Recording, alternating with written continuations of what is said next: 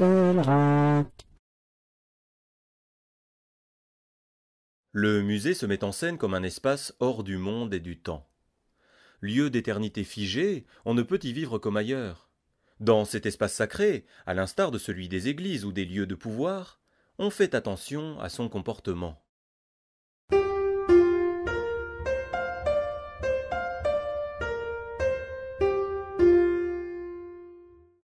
L'objectif du musée est de mettre en valeur les œuvres qu'il présente et de proposer un contexte favorable à leur réception.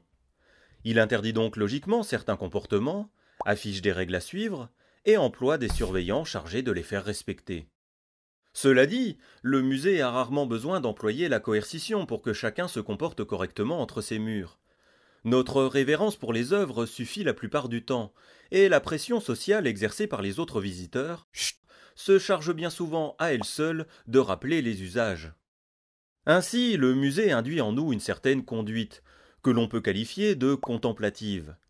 Nous faisons attention à nous-mêmes, nous maîtrisons nos gestes, nous parlons peu et à voix basse, et nous sommes incités à méditer gravement devant les œuvres, en nous contentant de les regarder. Comment pourrait-il en être autrement? En isolant les œuvres et en les sacralisant, le musée ne peut que pousser les visiteurs à la passivité respectueuse, voire à la révérence. C'est d'ailleurs l'un des principaux reproches adressés au musée par Jean Dubuffet. La caste possédante, aidée de ses clercs, ne tâche pas du tout, ne nous y trompons pas, quand elle ouvre au peuple ses châteaux, ses musées et ses bibliothèques, qu'il y prenne l'idée de s'adonner à la création à son tour.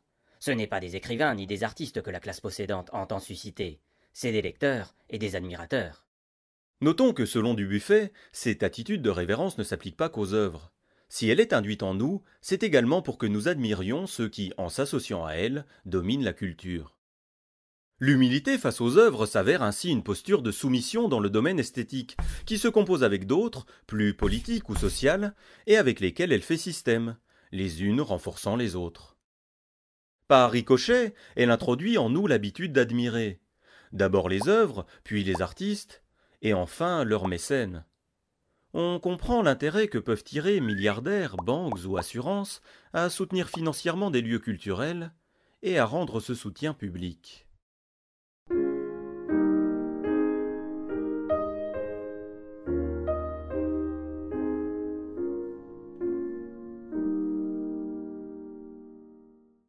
Le musée n'est pas non plus sans effet sur les artistes. Comme le montre l'historien de l'art Hans Belting dans son ouvrage Le chef-d'œuvre invisible, l'admiration pour les œuvres de leurs prédécesseurs, induite par le musée, a conduit ceux-ci à modifier leurs pratiques. C'est un des facteurs qui explique en partie les évolutions stylistiques du XIXe siècle. En effet, mises en scène comme des absolus sacrés, les œuvres muséales représentent un horizon inatteignable aux yeux des artistes. Tenter de créer un chef-d'œuvre qui puisse prendre place à leur côté, semble de plus en plus impossible. Aussi ont-ils cherché à contourner ce problème en privilégiant d'autres modalités de production, en faisant des écarts et des déformations volontaires par rapport au modèle classique, en trouvant de nouveaux sujets, surprenants ou triviaux, en préférant faire des séries d'œuvres, dont chaque partie n'a pas à être parfaitement aboutie, puisqu'elle se rattache à un ensemble plus grand, ou encore en ayant tendance à laisser leurs œuvres inachevées, volontairement ou non, certains artistes ayant travaillé toute leur vie à un chef-d'œuvre dont l'aboutissement a sans cesse été repoussé, dans l'espoir d'égaler un jour les maîtres du passé.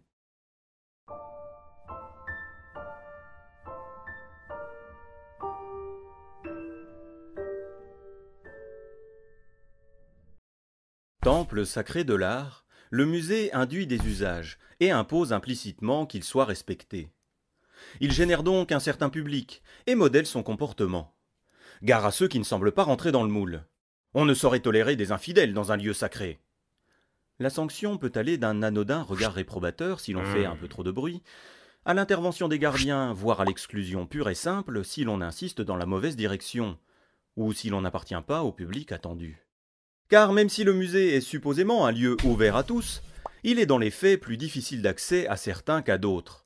Ces dernières années, plusieurs affaires ont bien montré que tout le monde n'est pas le bienvenu au musée.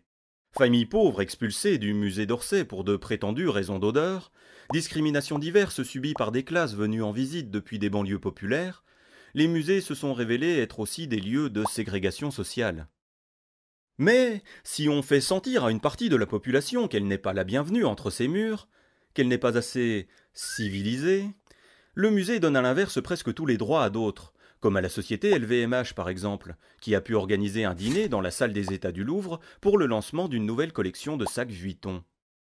Il est vrai que manger à quelques mètres des œuvres ne met absolument pas en cause la parfaite qualité de leur conservation. Et puis, les gens présents à cette opération promotionnelle étaient tous bien nés. Alors quel mal a laissé ces êtres supérieurs disposer du Louvre pour leur bon plaisir? Soumis avec les dominants, autoritaires avec les dominés, difficile de nier que les musées ont quelques aspects inquiétants. Ils semblent plus efficaces pour réaffirmer les hiérarchies culturelles et pour vendre des produits dérivés de leurs œuvres stars que pour vivifier les diverses cultures de notre monde. Alors, faut-il brûler les musées? Oui. Non, je plaisante. Le véritable problème n'est de toute manière pas tant le musée lui-même que les structures inégalitaires de notre société qui le déterminent à être ce qu'il est, c'est-à-dire un instrument de domination et de distinction. Pour que les musées perdent ces fonctions et soient davantage au service du peuple, il ne suffira pas de toute manière de les réformer seuls. C'est l'ensemble de notre société qui devra se transformer pour que change notre rapport à l'art, pour que nous n'en fassions plus quelque chose de sacré, mais quelque chose de vivant.